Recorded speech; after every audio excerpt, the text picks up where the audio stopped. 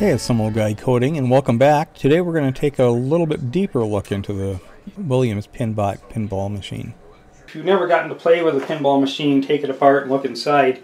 This thing pulls up right here, and the whole play field flips forward like that uh, for work. There's a little stand here, uh, at least there used to be. Right there, there is. And uh, let's see, there's a little hole over there where it's supposed to go.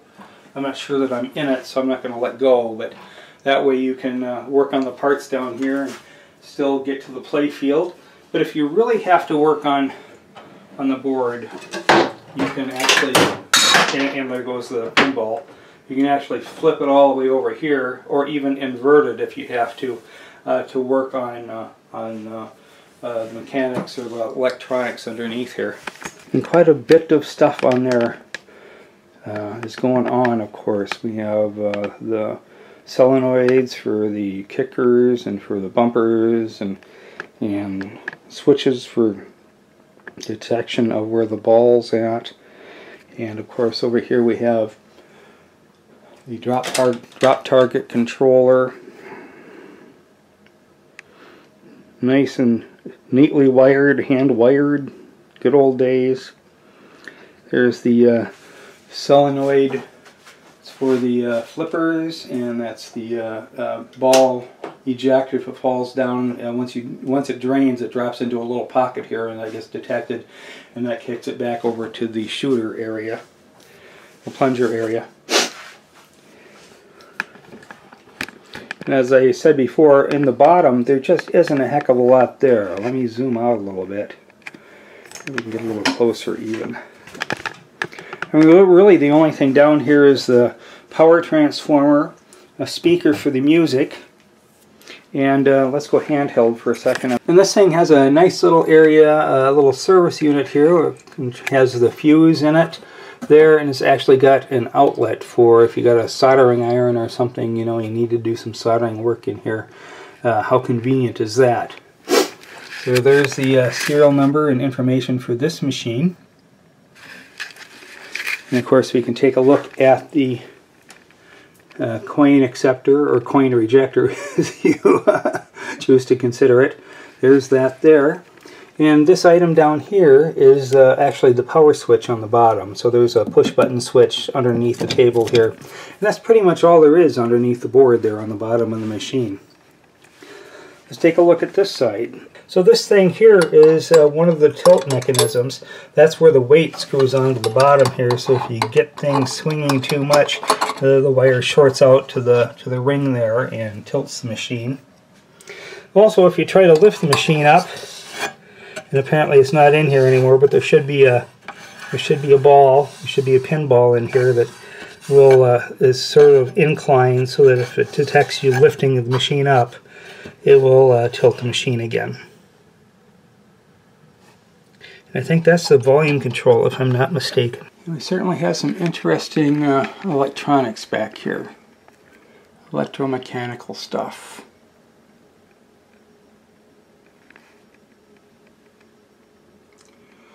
The light sockets are pretty simply made.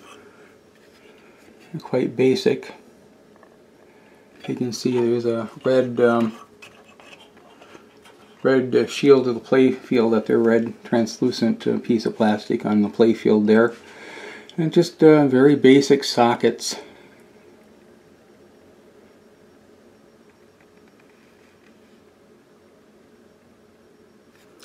That's the special light right here.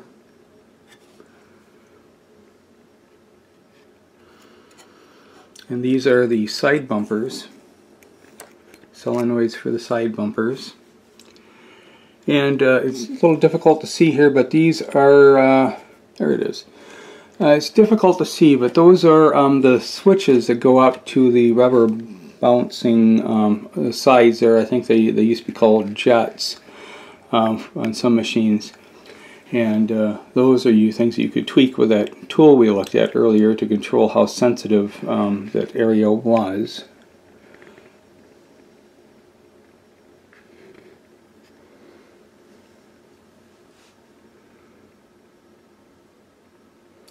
The lamps are all matrixed, so that's probably why you're seeing um, diodes going across the, uh, the lights here. There's one of those uh, resistor boards, probably with a couple replaced resistors there.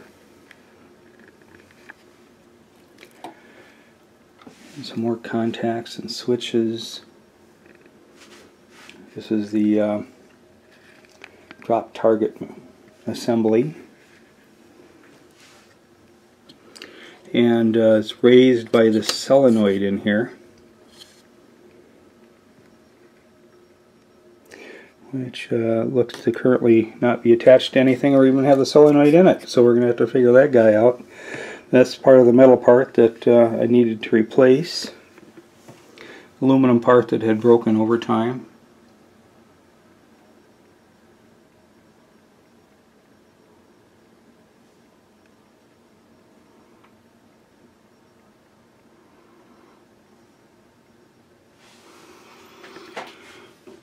And this area in the middle is the uh, uh, middle of the uh, field matrix where you're hitting buttons on um, this side, or that side rather, and back here on this drop target.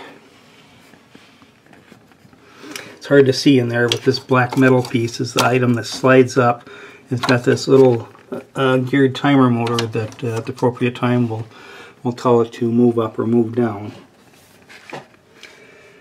and a bunch more solenoids to uh, deal with kickers and uh, holes that uh, things drop into and they need to be kicked out of.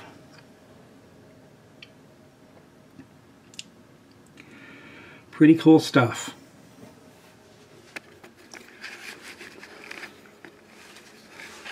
That was inspected by Mr. Massus I don't know if we can see anything on that sheet there. Inspection list. Pretty cool.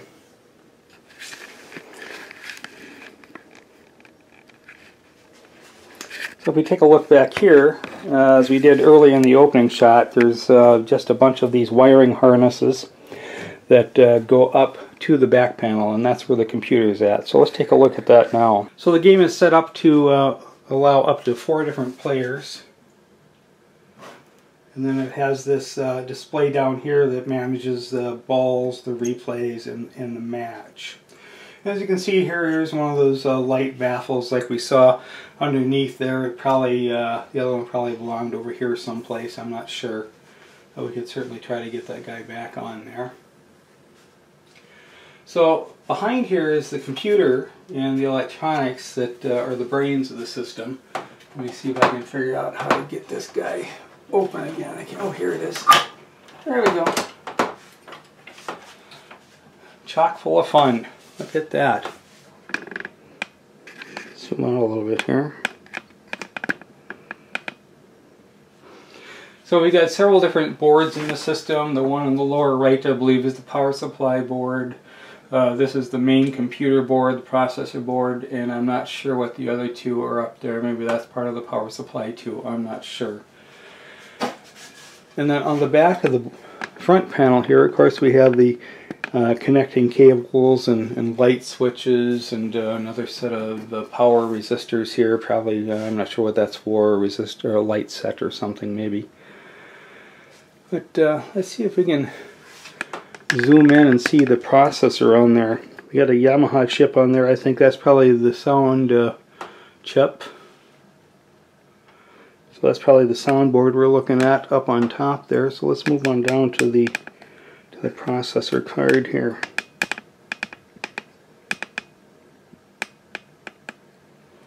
There we go. It's hiding behind that wire there. Yep, there we have it. It's a 6802. Motorola part. Look at that. Motorola processor, and I'm sure it's the rest of the chipset sitting around it out here. Very cool stuff. And there's the uh, ROMs, of course.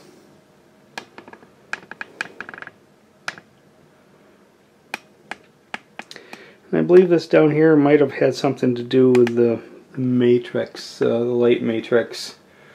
I know I replaced a couple of transistors in that area. I don't remember exactly now, but uh, there were some issues with this machine, of course, when when it arrived. And uh, on this machine,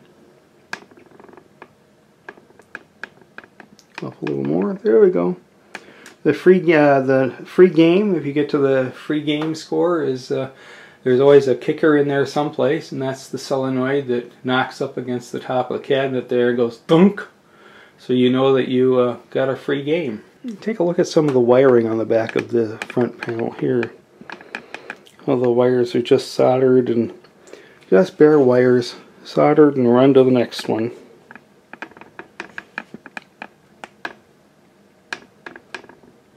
Quite interesting. Just a regular railroad track going back there. And then at the very top of the machine we got the flashy uh, roller lights up there that uh, flash uh, under certain circumstance, which of course I can't remember what that was anymore. so thanks for watching. Next time we'll uh, give it the smoke test and apply power.